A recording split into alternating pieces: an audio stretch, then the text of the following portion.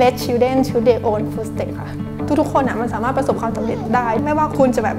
เก่งอะไรอะแอนิเมชันชื่อ Fact Fake ครับคอนเซปต์ก็คือเชื่อหรือคิด อยากให้คนเข้าใจในศาสนาผมให้มากขึ้น ศาสนาอิสลามเนี่ยครับ ชื่องานว่า Up in the Cloud นะคะ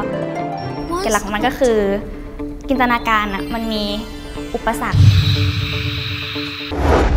เอ่อ The Forest Paper นะครับ เป็นเรื่องที่เกิดขึ้นในเมืองในโลกกระดาษ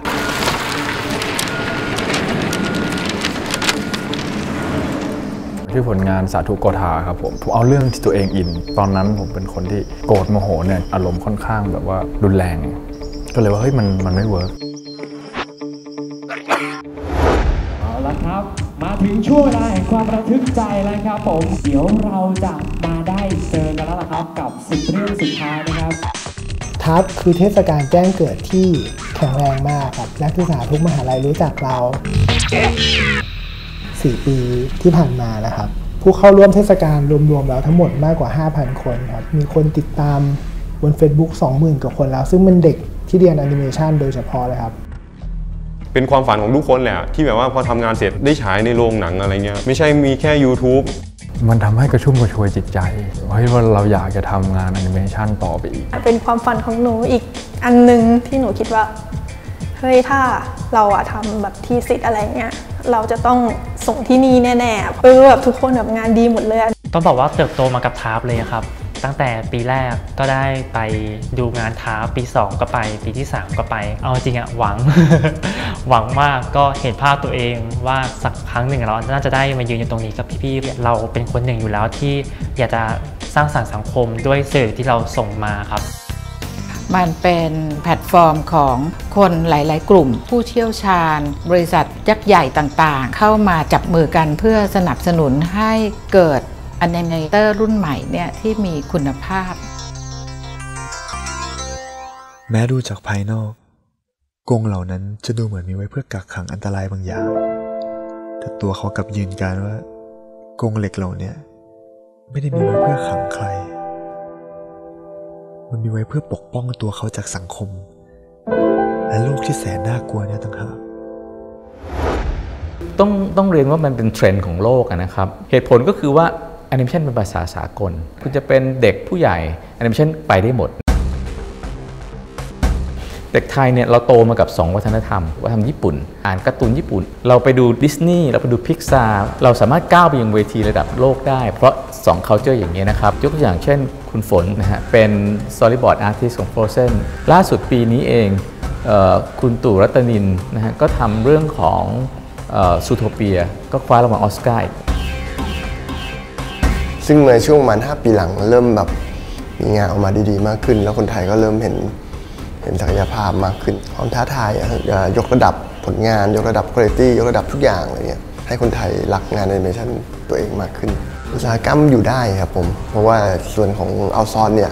เยอะมากขึ้นเรื่อยๆ ยุคสมัยนี้มันเป็นเกี่ยวกับพวกแบบ VR พวกกราฟิกมีเดียโทรศัพท์ทุกอย่างใช่ไหมฮะมันจะต้องเกี่ยวพันกับคอมพิวเตอร์กราฟิกกับ CGI ทั้งหมด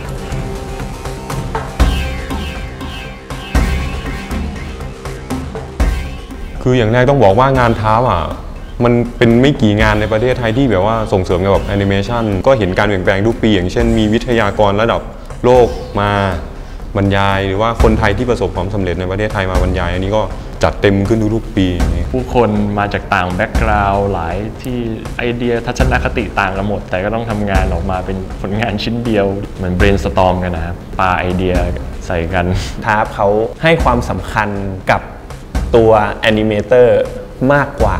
พี่รัฐให้กลับมาช่วยดูแลน้องๆ ให้คำปรึกษาน้องๆ คือมันเหมือนกับมันได้ครอบครัว มันคือครอบครัวของคนทำแอนิเมชันนะมันแบบคือมันเป็นคอนแทคที่แบบมันสุดยอดมาก มันเป็นอะไรที่แบบว่า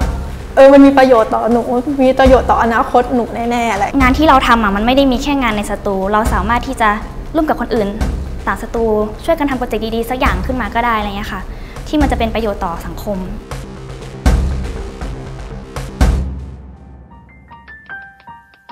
บางทีการ์ตูนสู้กัน ตัวตัวเอกเนี่ยสู้เพื่อสิ่งที่ดี งานศิลปะ ต้องถ่ายทอดความคิดดี ๆ ให้ผู้เสพผมคิดว่าแอนิเมชันนี่มัน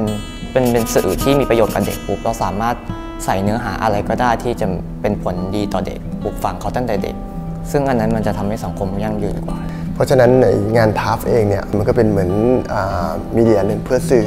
ความคิด ของเจนรุ่นใหม่ ดูแล้วก็อยากให้คิดเพื่อให้คนคิด แล้วก็เข้าใจถึงใจความว่าโอเคว่าอ่าหลาย ๆ อย่างเนี่ยมันเป็นซิมโบลิก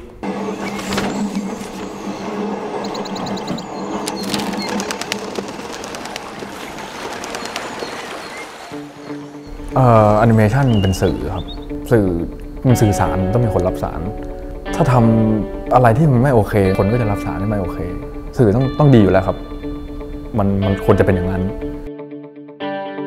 มีเทคนิคดีในขณะเดียวกันเนี่ยก็รู้เรื่องราวของสังคม แล้วก็นำความสามารถเนี่ยมานำเสนอให้เป็นประโยชน์กับสังคมได้ดีแอนิเมชันมันมันเป็นมากกว่างานเด็กนะ เขาต้องการส่งผลงานมาที่เรา เพราะเขารู้ว่า TAF อะจะเชื่อมต่อโอกาสให้เขาได้ เขาจะได้งานทำเขาจะได้ภูมิใจในงานที่เขาทำครับ เหมือนเป็นแรงบันดาลใจให้เขาอยากทำงาน